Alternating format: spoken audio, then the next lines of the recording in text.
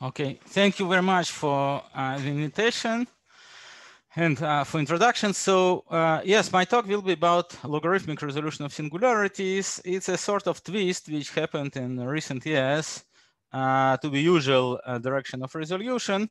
Uh, in fact, I'll discuss maybe first step of this new developments. but okay, let's let's start. so uh, oops. Um,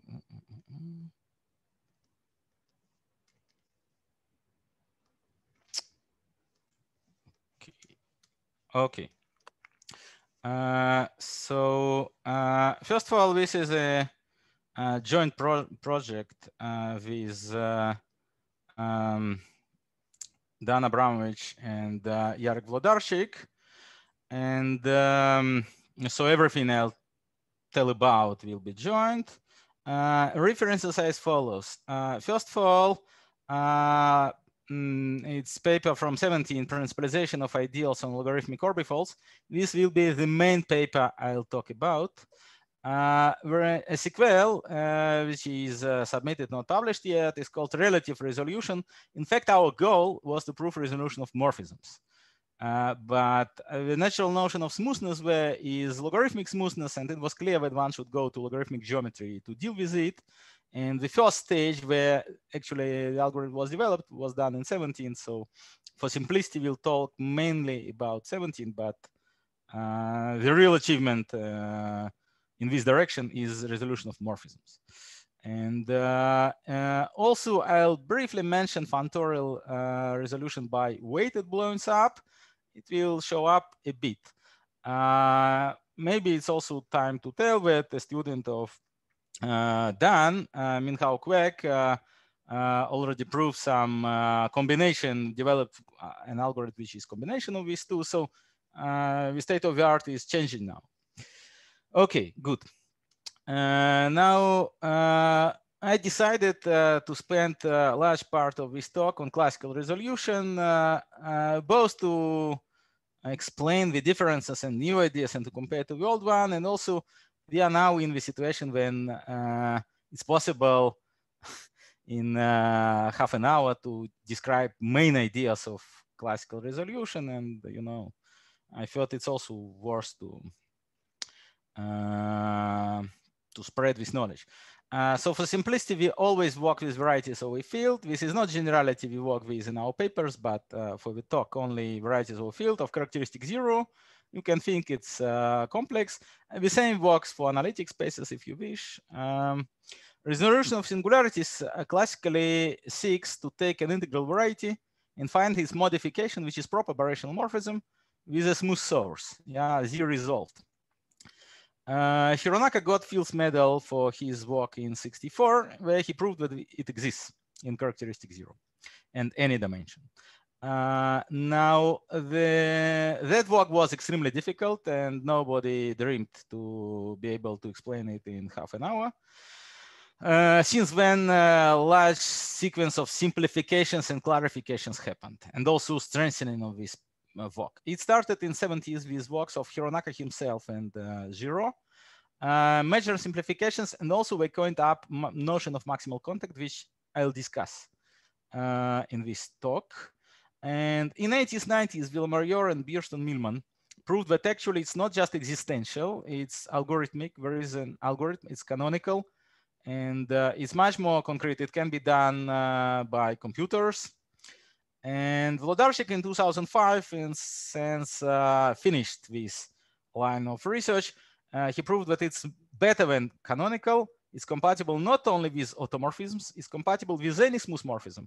If you are given z prime to z a smooth morphism, then one can construct a family of resolutions so that uh, resolution of z prime will be pulled back of resolution of z.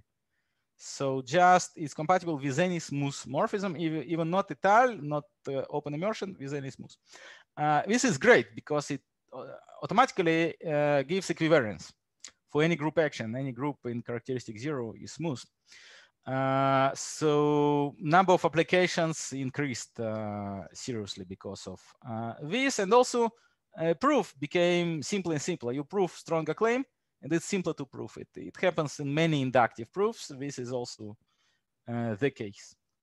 Okay, and um, after that, uh, until 17, nothing, uh, I would say, principle uh, happened.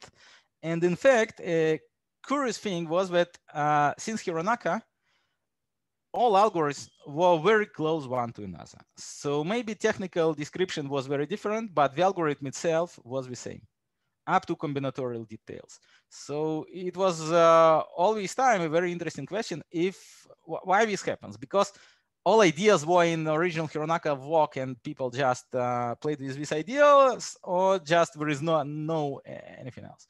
So the first uh, canonical algorithm, which is different, uh, although he shares, it shares some ideas, uh, uh, was discovered in 17 and uh, it's a logarithmic thing.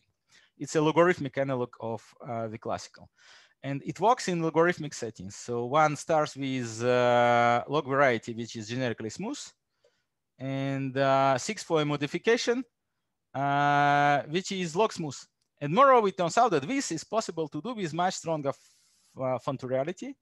It's functorial with respect to all log smooth morphisms, a much larger class of morphisms, uh, as we'll see. Uh, a drawback is that one has to work with stacks and not only log smooth or logarithmic varieties. It was not expected when we started the project. It was one of discoveries which turned out to be important. Not only technical obstacle, but also uh, it's beneficial.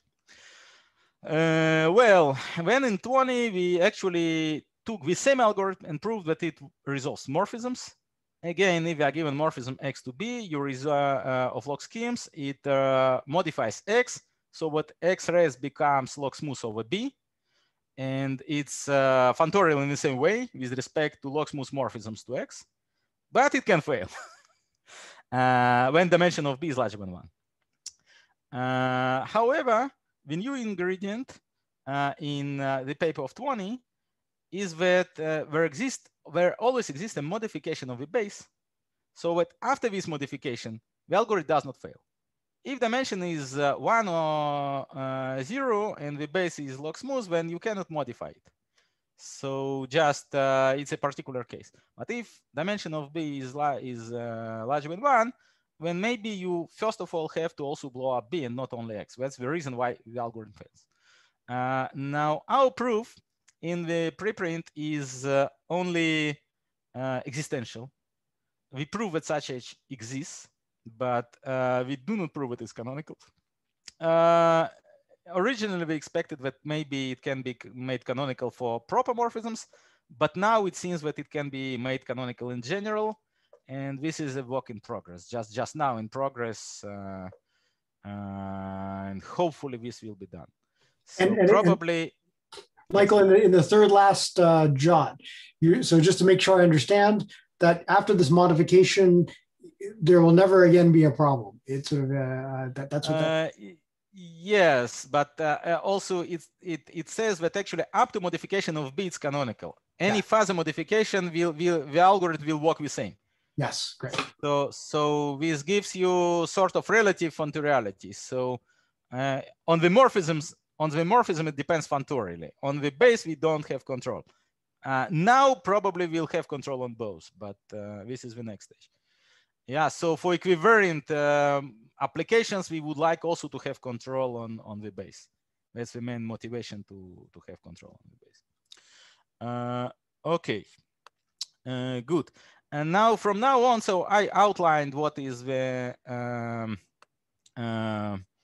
uh, uh our final goal uh, for morphisms. From now on, I'll only talk about uh, about the absolute case uh, the first paper, yeah, this uh, uh, this one, because it's simpler and it's the same algorithm, essentially the same algorithm. Okay, good. Now the plan of the talk is as follows. First of all, we'll discuss half of the talk, or maybe a bit more classical resolution. And then uh, I'll briefly recall some notions of logarithmic geometry, and then we'll discuss logarithmic algorithm and actually just how one, uh, what one should modify in the usual algorithm to get the logarithmic, what are the differences, what are the similarities. Okay, so let's start with uh, the uh, usual methods for canonical uh, resolution. So all these methods are, uh, as I told, built on Hironaka's framework. Uh, and uh, it's enough to work locally because uh, of canonicity, it glues automatically. So one of bonuses of proving stronger claim is that you can work locally. So everything is just computation with chars in local coordinates, no global geometry here. Uh, um, resolution is embedded. Uh, all these methods are embedded. One, first of all, embeds X into a manifold. By manifold, I always mean smooth variety. So one embeds into smooth variety by closed immersion. And when one works with a pair, such immersion exists only locally, but we don't care because uh, our method is functorial. And when one works with a pair, an ambient space and a submanifold, so, so, sorry, subvariety, subvariety, something singular, subvariety, and one looks for a modification which depends on this pair fantorially with respect to all smooth morphisms. And uh, the uh, modification should modify the ambient manifold to another manifold so with uh, a certain transform of X, it will be, for example, strict transform or another transform we'll discuss later, uh, actually will be a resolution X res of X. It, it's not the full, pull, the full uh, pullback, it's a subscheme, yeah, because we have also some copies of exceptional divisor in the full uh, pullback of X.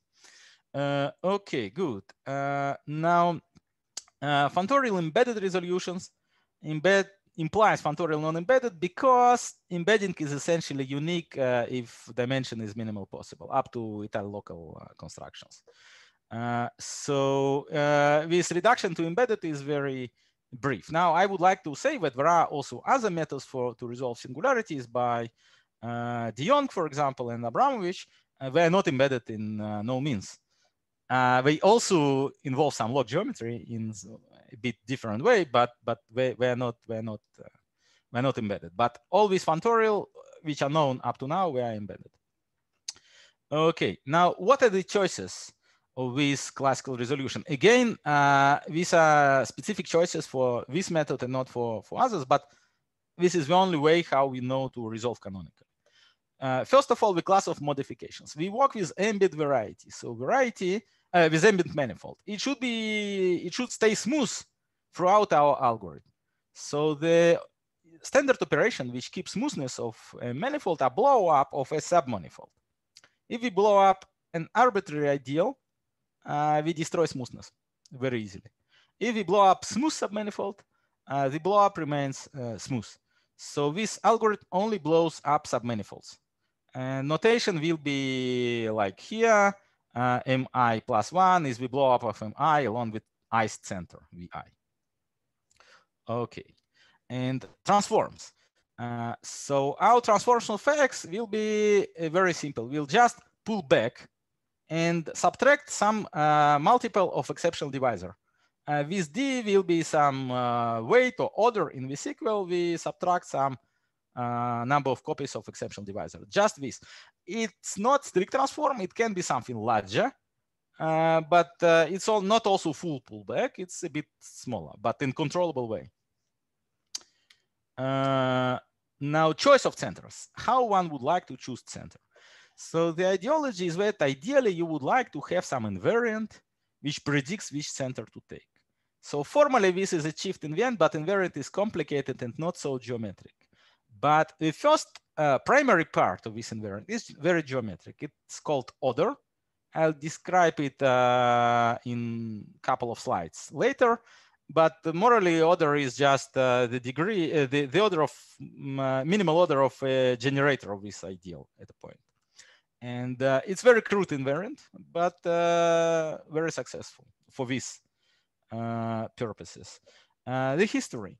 Uh, to avoid loops, the algorithm uh, encodes history uh, in exceptional simple normal crossing divisor. It gets exceptional divisor larger and larger. It worries that it's always simple normal crossing. And the number of components of this boundary at a point will be another primary invariant, denoted S of X sometimes. So, uh, and final part, the algorithm runs by induction. Uh, just uh, induction by dimension as follows. Uh, we consider uh, uh, our ideal. We take its order D1. S1 is the number of components. And then we find something called maximal contact hypersurface. Again, we'll discuss later what it is. And restrict to it. You restrict our ideal in some smart way. When we take order of the restriction, and uh, exceptional components where, and so on. So uh, it runs by induction, which restricts uh, the problem to hypersurfaces in an equivalent way. And uh, the final invariant is something like uh, what is written here. Michael, can I ask um when you say sure. number in number four, when it, uh, uh, when it encodes history, you mean it encodes history only by remembering S of X? Like there's no additional history. It remembers also the order of components, but I'll uh, something similar. I'll be vague. I'll I'll ignore this. Yeah, but okay, but this, something this, something similar, yeah, similar and blunt. Only only about uh, simple normal crossing divisor, uh, some numeration of components which we won't use, and S of X which I'll mention a bit. Now uh, an example. So and the question why this history is needed at all. So the classical algorithm. Um, encodes history in the boundary, and with our choices, no history algorithm uh, exists. Uh, uh, no, no history algorithm does not exist at all. And this is very simple to see by example. So example of no progress. Let's take uh, just hypersurface in uh, A4 uh, given by x squared minus yzt. So there is an action of S3 by permuting yzt. And uh, singular locus is just the union of uh, free coordinate xy, xz, xt of, okay, uh, I think, uh, uh, I think it's uh, it's the union, yeah, it should be the union of free, free access through, through the origin, which are permuted by. and it's easy to see that the only center which contains zero and which is equivariant, and our algorithm can only blow up equivariant things, uh, because of reality is the zero itself. If I blow up the zero, I can just uh, compute everything very explicitly. And here is the formula. Uh, I don't think we should stop here, but it's just simple computation on charts of blow-ups. And you see that you get a copy of exceptional, twice exceptional, and the same equation. And uh, in fact, this means that after removing the exceptional, we are completely stuck. So if we don't remember that there is some exceptional divisor, we, we have no, no, no information at all. A more classical example, this is by, by, by Jarek, more classical example is Whitney umbrella uh, with a pinch point. And again, you can see that pinch point, which is the worst point.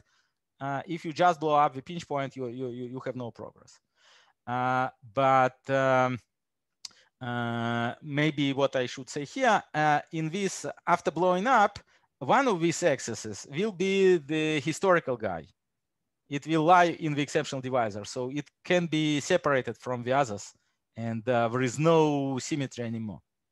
So using history, one can do progress.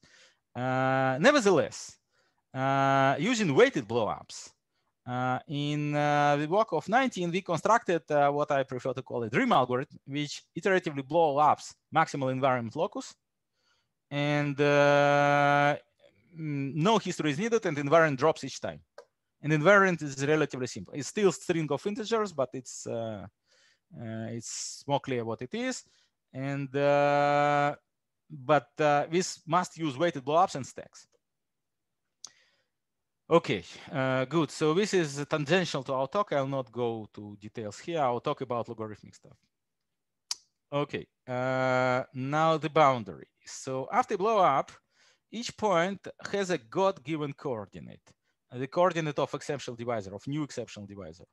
So if we want to reduce symmetries of our situation, it's natural to take this coordinate as one of coordinates in, in any system of coordinates we'll work with. Because we want to break the symmetry and uh, somehow, yeah. And um, Uh, and Hironaka's uh, decision was to only consider such coordinate systems. So inductively for a sequence uh, as earlier of blow-ups, we define uh, accumulated boundary as the premature fault boundary and the new one. And we insist that we always work with coordinates T1, Tn, which uh, can be used to describe the new, uh, the new um, center and also can describe uh, the exceptional divisor by just uh, last R coordinates. so this imposes restrictions on the choice of V. Uh, serious restrictions. But because of these restrictions, the new boundary will be still simple normal crossing. So we, once again, we reduce our number of choices, but we insist in this way that the boundary is SNC all the time. And uh, boundary coordinates will be called exceptional monomial. So we'll use a separate notation for them. Uh, okay, questions uh, about these uh, choices or structure? Okay, so good news. Uh, so canonical monomial coordinates, they indeed decrease choices and uh, they are used to, avoid helps, uh, to avoid loops. And in addition, this extra structure of monomial coordinates can be used to accumulate the parts of I.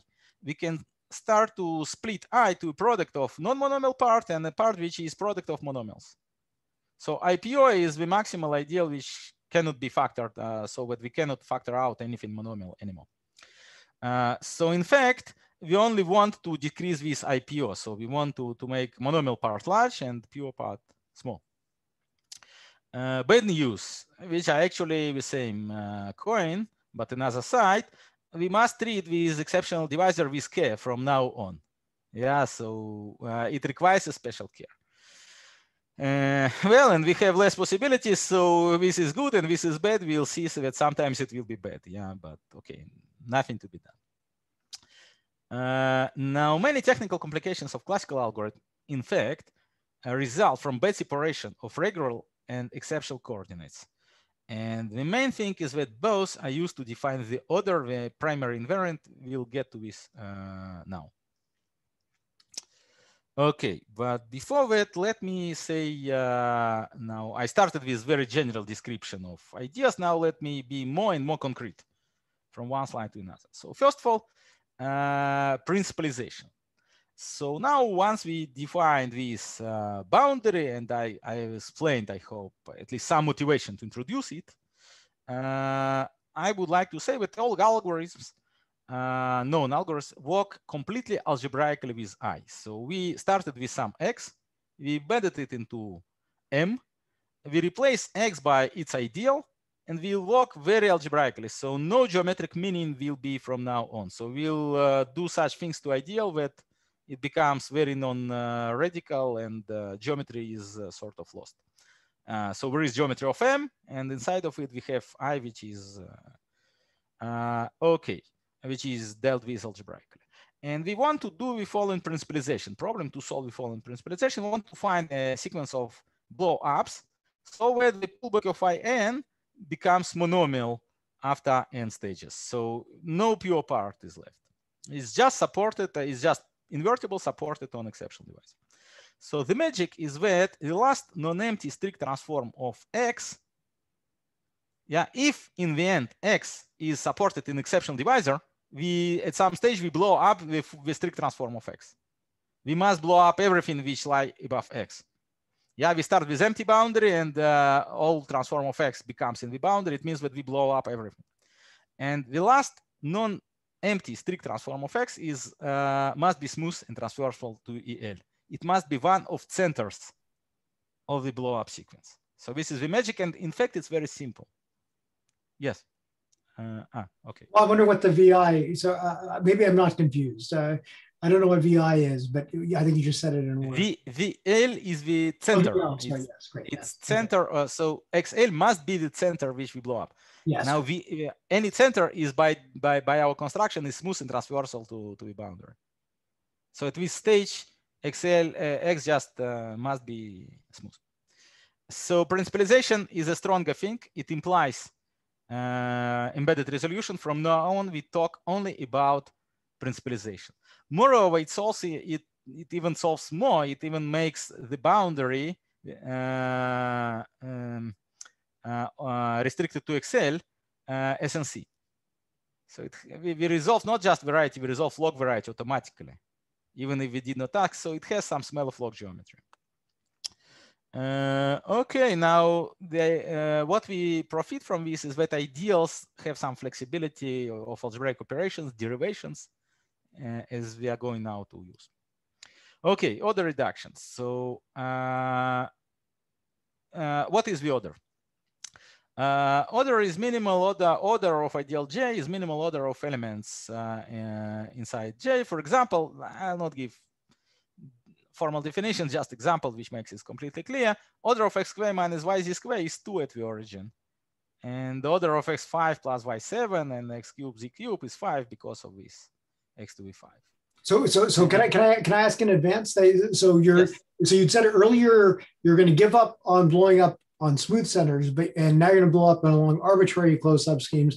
But I'm guessing they're not going to be arbitrary. They'll always be weighted projective kinds of things. Is that a no no no no no no? I am now I I'm talking about Hironaka's algorithm. Oh, okay. I I only blow up smooth centers. Right. In logarithm Mm-hmm. But in, in your system, yes. But in your system, in, oh. in our system, it will be uh, a bit more general. We'll see. But I, first of all, I, I, I have to finish Hironaka's. Good, makes sense. And then I'll start to yeah. But uh, in ours, it will be more general, but not completely general. No way. Uh, and and here only smooth centers. Uh, so the primary invariant is the order of pure part. Monomial, we know what to do. So our enemy is pure part. We want to decrease pure part. So we want to decrease the order of pure part. Uh, now one works with so-called marked or weighted ideals i comma d. So d should be viewed as weight, or in a sense, we want to work with i to power one over d. Yeah, it's a good intuition to what we really work with. Uh, one uses only blow ups along centers that the order is maximal possible. So center must lie in the i comma d singular, which is precisely points x of m where the order is uh, at least d. So we want uh, to um, to work only with these uh, uh points where the order is more than d, and uh, we in such case uh, it's automatically that the pullback of i can be divided by this power of exception. If we blow up ideal blow up a center line in such locus, it easily follows that we can divide the pullback of i by uh, this power of exception. So our transform will always be just remove this power of exception. Uh, for example, we already saw such example with uh, Whitney umbrella with this x squared minus yzt, comma 2, and when we could uh, divide by uh, by second power of exception. This was our transform. Okay, order reduction finds a sequence of blowups uh, which are ID admissible in this uh, in this sense, in this sense, and uh, so with the uh, uh, event of the process, there is no more points where in is d singular. So no more points where the order is d. So order drops below d. Uh, now, if we can do such a thing for any i and d, we can obtain principalization just by taking d equal one. So it's strong event principalization, and it's a very natural approach to principalization. Just kill order. Okay. Uh, now, uh, maybe one more remark. Why uh, uh we still, uh, despite the fact that d equal order of IPO is the main case, why we consider general case? It uh, sort of karma of induction. Our ideal, uh, after restricting to a maximal contact, uh, becomes a different ideal, but it remembers its old, uh, its old order because our transform can only divide by order up to d because of uh, early life. So because of induction, we have to, to do a bit more general uh, situation here. We must prove that using weaker transforms, we still can resolve. Uh, fortunately, this is just combinatorial complication with monomial part, so it's not uh, too much complication. Okay, now maximal contact, the main miracle of all this story. Uh, uh, the miracle which enables induction on dimension and the miracle which does not exist in characteristic P. Uh, so in the maximal order case, yeah, in uh, the case when D equals to order of I pure, uh, it turns out that we can encode our problem by an equivalent problem in a smooth hypersurface called a hypersurface of maximal contact. We'll denote it H. And uh, there exists some ideal called coefficient ideal. I'll immediately define you these two things. Uh, so that when we restrict the ideal to H, uh, the uh, resolving of the new gadget is equivalent to the old gadget. Any blow-up sequence of H which resolves C of I uh, induces a blow-up sequence of uh, the original M, which resolves I, and vice versa. So these two problems are equivalent, and by induction, it's enough to, to work on H. So we get a reduction of dimension. Uh, and here is the main example. So let's assume that I is just uh, given by one um, uh, generator, t to the d plus sum of ai t to d minus i, and uh, we can mm, we can avoid a1 term here. And uh, t is the first coordinate and the other coefficients uh, will depend on t2 to tn. In such case, the maximal contact is just vanishing locus of t, t equals zero. And coefficient ideal is just we take all these coefficients and consider each of them with the correct weight. So A2 is taken with weight 2 and AD is taken with weight D. But I want somehow to combine them together. And the only way to combine them together is to take large enough power so that all these one half, one third, and one over d become integral numbers. So either I should take here LCM of the numbers from one to d, or just to write it simpler d factorial, for example. In any case, the C of i has huge degree. So each reduction of uh, dimension costs us factorial of the previous uh, degree. So algorithm is not too much efficient, but uh, okay. Uh, now remark, why coefficient ideal? Uh, because if I just want to restrict I to H like here, when I restrict only the, the last coefficient, I lose a lot of information. No way that this encodes the original problem. Uh, but encoding all coefficients, restricting all coefficients with correct weights is a smart way to encode the original problem. Uh, and uh, no problem to achieve a1 equals zero because we are in characteristic zero. In characteristic uh, P, this breaks completely and uh, nothing to be done, at least uh, what we know. Okay, and this is an example. Now you can ask what to do in general. In general, there is a, a way which uses derivations. So our next tool is derivations. So my tool for a choice-free description of the algorithm is to consider derivation of i and its iteratives. Now, derivation of i is generated by i itself and derivations of all its elements with respect to all coordinates. Uh, a good thing about derivation is that it decreases the order of i precisely by one. And uh, well, it's a simple exercise on uh, formal series at, at a point. And it con derivation provides conceptual way to define all basic ingredients uh, of algorithm, excluding monomial ones, excluding combinatorial ones. So first of all, the order is the minimal d such that this derivation is trivial. It's just uh, the structure sheaf. Be each time it decreases the order by one. Uh, maximal contact is any hypersurface generated by t where t is a regular coordinate, which is element of order one in d minus first derivation. So in D minus first derivation, there are elements of order one. So any, any such element gives us a hypersurface, smooth hypersurface, which is touching as much as possible to our ideal. So this is the hypersurface of maximal contact. And third, the coefficient ideal, again, we just take uh, derivations and take weighted sum of derivations in a natural way. So this is the coefficient ideal. So uh, this description is completely choice-free, except the choice of uh, maximal contact. So the only serious difficulty in proving canonicity of this algorithm is to show independence of the choice of maximal contact. But all the rest, I did I described uh, um, choice free. Okay. Uh, one remark, uh, uh, which uh, now points towards what we are going, uh, where model of logarithmic derivations, DLog, is spanned by derivations of usual elements and uh, uh, logarithmic derivations of monomial variables. so what is written here? So this module are precisely derivations which preserve E uh, is take e, uh, ideal of E to itself, except preserve a boundary. For almost all needs, it's much more easier to work with DLog. But why the original algorithm cannot do it? For this following reason. Uh, the order of ideal is described by usual uh, derivations and not by logarithmic ones. And uh, because of this, we must use usual derivations and we run into two complications.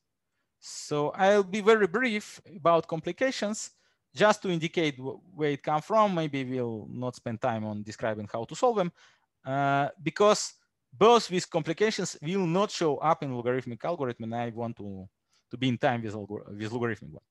So first of all, uh, this uh, h produced by usual derivations uh, is not related to e in any way. So no relation. It might well be the case that uh, the maximal contact is not transversal to E. In such case, intersection of E with H can be singular and uh, can be bad and no way to restrict the boundary. So, uh, and we have to restrict all our problem, including the boundaries. So there is a uh, solution of this. One has to take, uh, to work with old boundary, new boundary, and this is the reason why this number of components of the boundary shows up in the primary invariant. So let me now uh, not go to details, but this is complication. It's solvable. It makes algorithm much longer and it complicates the invariance. Uh, second complication is that the order of i can be larger than d, but order of pure part can be smaller than d because of monomial uh, contribution to the order. And if this happens, we must work also with monomial part and uh, Again, there is some solution, uh, not too complicated, but uh, it makes at least the, the argument and uh, the reasoning and the uh, computer algorithm more complicated than needed. Uh, okay, good. Uh, now, before going to algorithmic things, let's discuss what is the boundary so typically I always before I started uh, to work with, uh, resolution, I thought that boundary is a divisor. It's normal crossing divisor or something geometric. This is uh, incorrect, I think, at least for this problem. So unlike embedded uh, scheme X, which is a subscheme, I think that E is a logarithmic structure, uh, as I'm going to describe, but not, not really a divisor. We, we never use that it is a divisor. Way.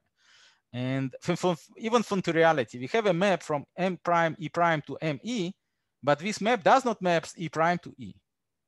Uh, pullback of E is embedded into E prime. So in, uh, exceptional divisor becomes larger and larger. It contains it, but in, uh, yeah, so it's not a reality of subschemes. Uh, but uh, the boundary actually can be described by the sheaf of monomials uh, or what is the same as a sheaf of uh, uh, elements of structure sheaf, which are units outside of the boundary. The monomial defined monomial defined by by E, I define I denoted M of log E just symbolically. It's the intersection of units on the complement of E with the structure sheaf. So it's some submonoid of structure sheaves uh, and uh, it gives a natural functoriality actually. Uh, now, and in fact, this is the sheaf uh, we use in our algorithm. We use it to factor, to principalize ideal, to factor out monomial pieces. And uh, we don't use anything else from E, in fact. Uh, locally, in this case, this sheaf splits as non-canonically as units times free monoid generated by M1 up to MS by exceptional coordinates. It will not be the case anymore. But in this case, uh, uh, the splitting actually says that up to units, we can just work with exceptional coordinates. Okay, now a brief discussion of logarithmic varieties. I'll have to be brief in order to, uh, so I sort of more or less assume basic, basic familiarity. So logarithmic variety consists of a variety and a sheaf of monoids uh, with a map to OX. So with uh, invertible elements of this monoid are precisely invertible elements of X, morphism is a compatible pair. Uh, all examples which co cover our needs are X and uh, mon uh, sheaf of monomials which come from divisors. So elements which are units outside of a, a divisor. And in such case, morphisms are just maps which, uh, uh, so the preimage of uh, uh, divisor downstairs is contained in divisor upstairs. Uh, now, many constructions of usual geometry, algebraic geometry, extend to log geometry.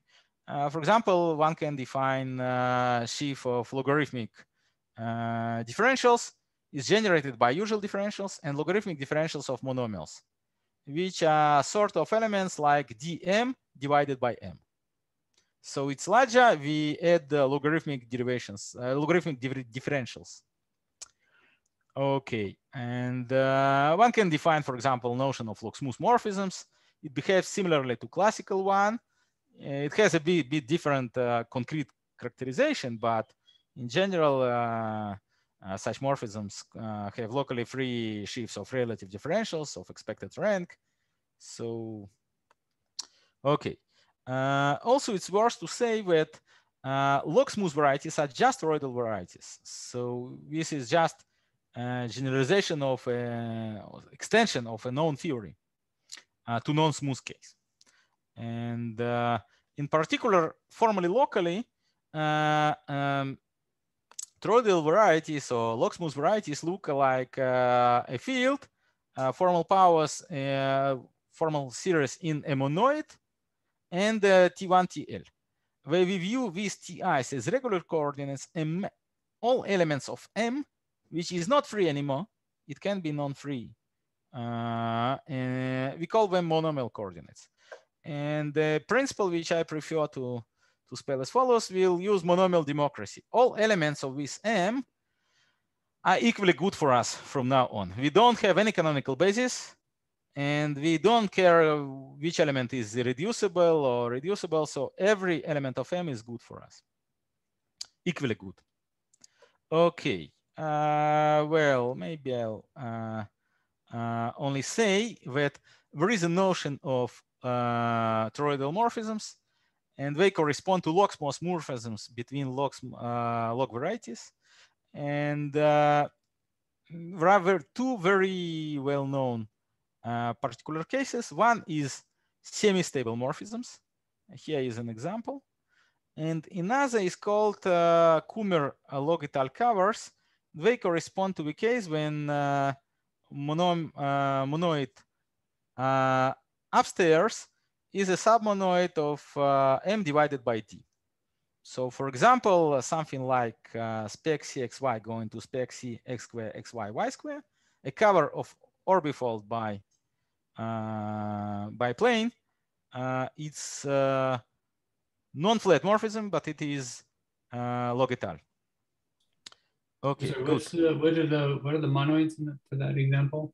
Uh, here, uh, this one is free. And this one is generated by 2011 and 02. Okay? 201102. So, okay, so, so, so Michael, is the game you're going to play? So you, let's say you have uh, an X, you have a variety, it's singular. Maybe you even have something you're calling the boundary, which is a closed subset. So you'll take the singular locus and the, and the boundary, and you'll have a log structure as a result from that and you're going to take this log structure. It's not toroidal, and you're going to, but you're going to tell me some stuff to do, so it'll end up being toroidal. Is that? Okay. Is that uh, okay. Okay. Let's. Uh, so I think I, I finished this uh, brief X course to general theory. Now I'm returning to algorithms. So yeah. So your question is about algorithm. Yeah. Yes. So what what, what I'm. So okay. Uh, well. Uh, Sorry, I didn't mean to. So, okay. Maybe maybe I just want just last last remark. Okay, and be, before I go into this. Uh, so uh, the remark is here. So most interesting feature of new algorithm is functoriality with respect to all uh, log smooth morphisms, including log étale cover, Kummer log étale covers. So for example, if I take extract root of monomial coordinate, it is uh. And my algorithm, unlike uh, Hironaka's algorithm, will be uh, functorial with respect to such things.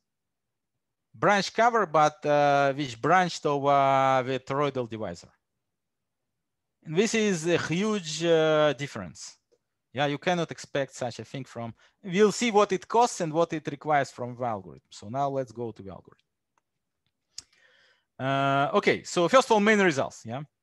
Uh, ignoring orbifold aspect, which I keep to the last slide, our main result is as follows. Given a toroidal variety X with an ideal inside, inside OX, there exists a sequence of admissible blowings up. I have to explain what it is, I'll explain later. Uh, of toroidal varieties, sequence xn goes to, goes to X, such that the pullback ideal is monomial.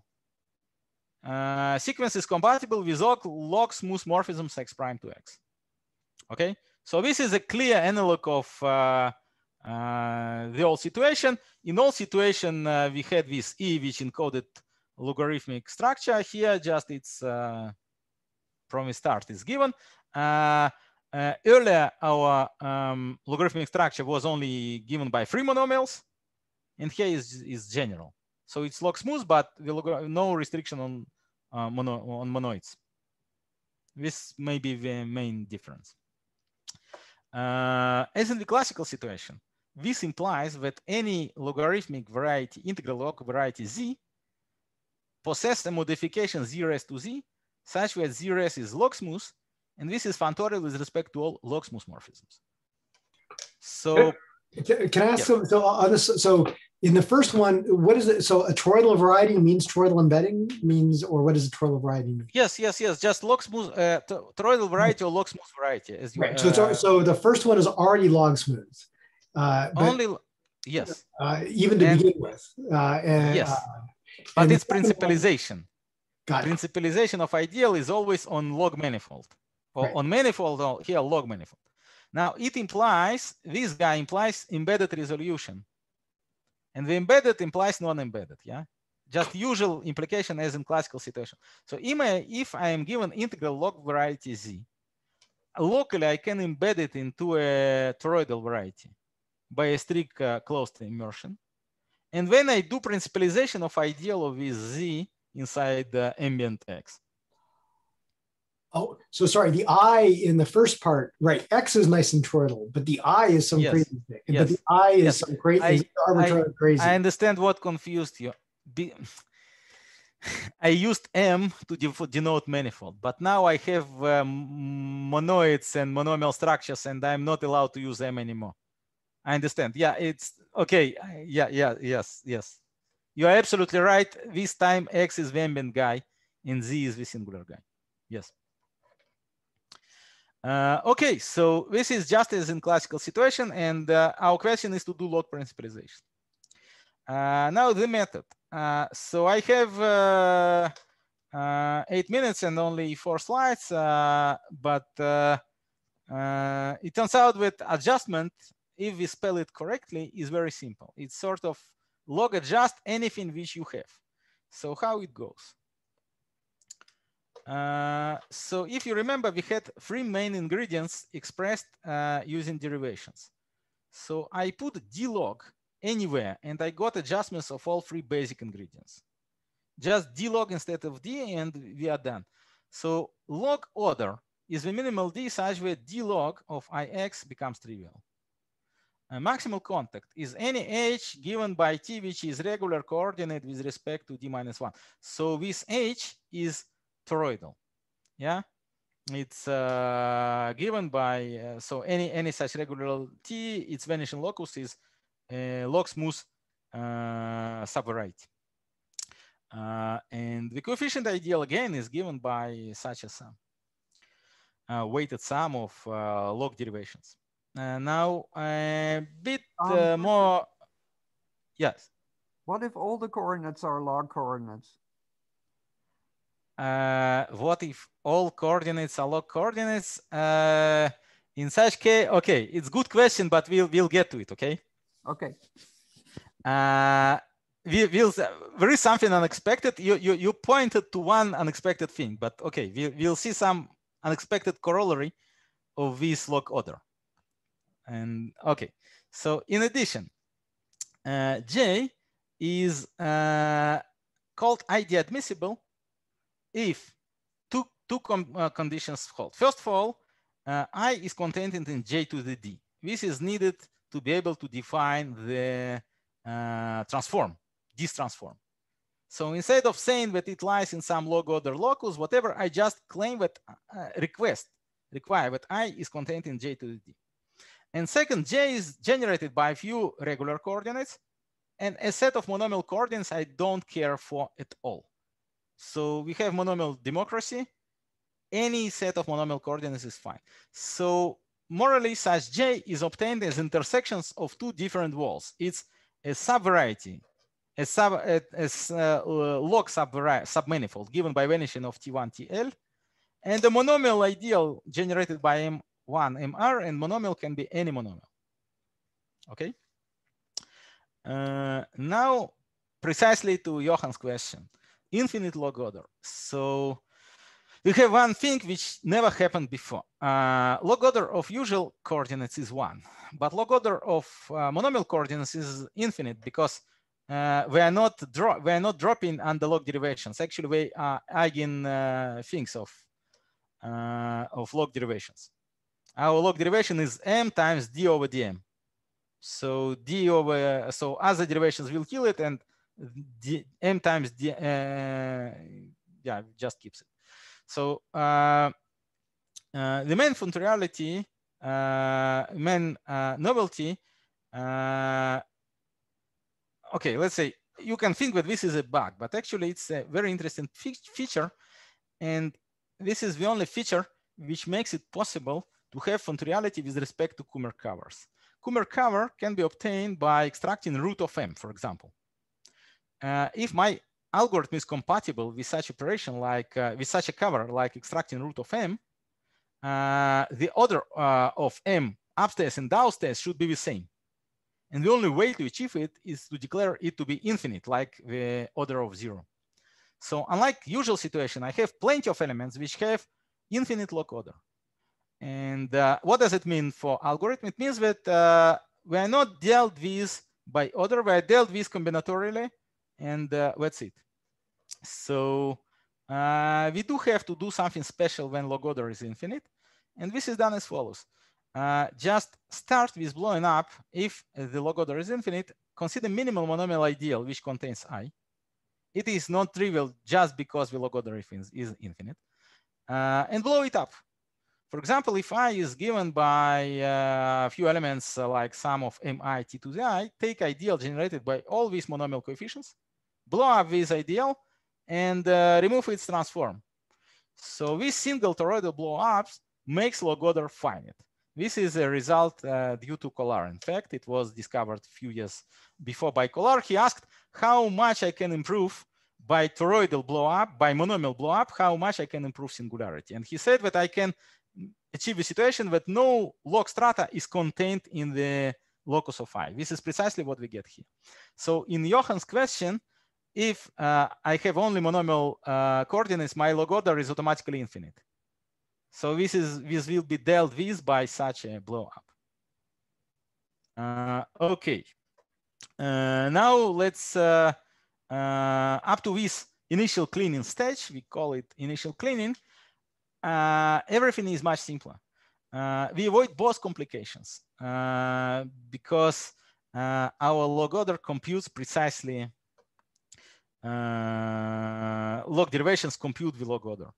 Uh, so, and it separates coordinates much better. Uh, monomial ones are dealt with uh, here, and uh, the other one show up when we pass to um, maximal contact. Uh, yeah, that's what I say. We completely separate um,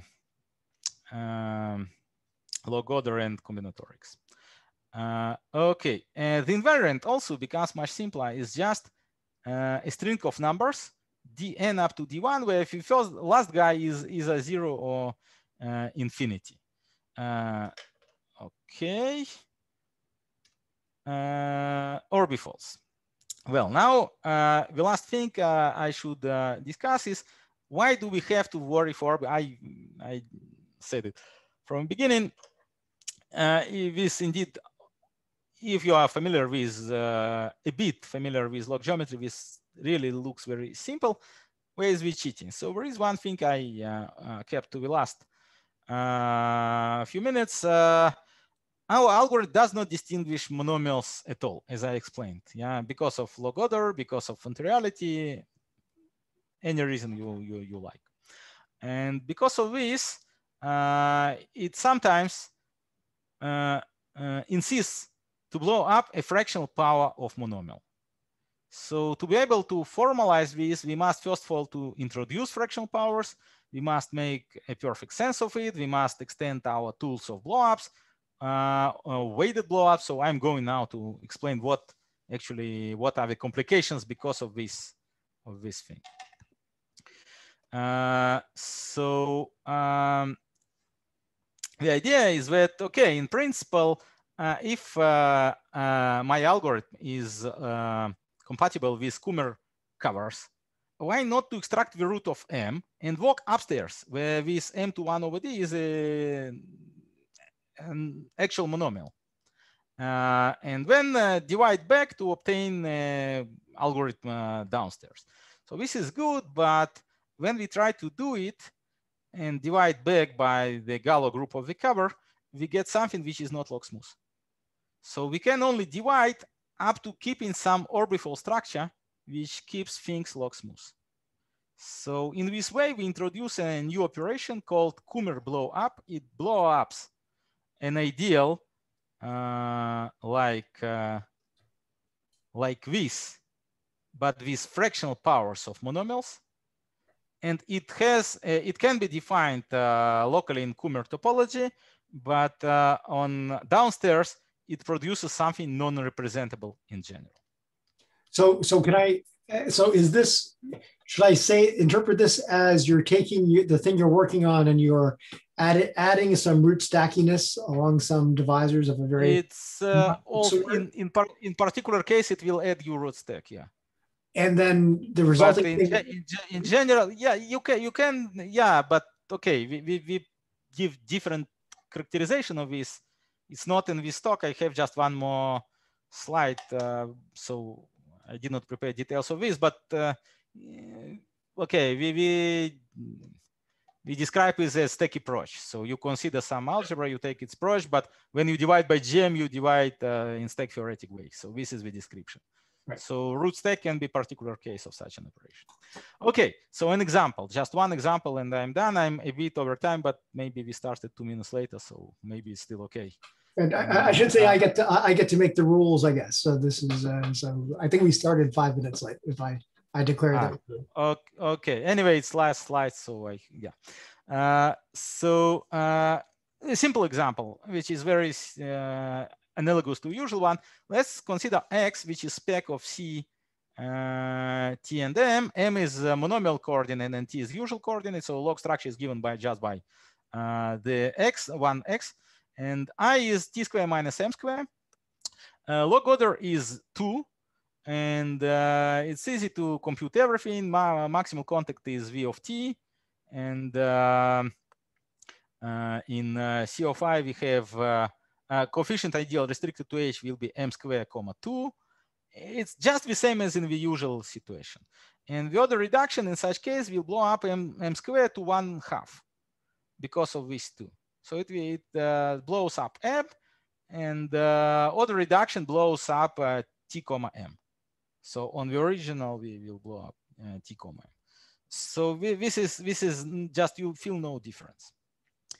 Uh, but what if we take t square minus m? So the same situation, but this this x is a Kummer cover of the guy which I'm taking now.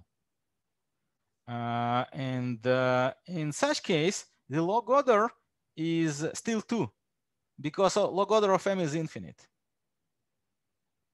Yeah, just remember in usual situation, I would say log order is one and I restrict to hyperplane m equals zero.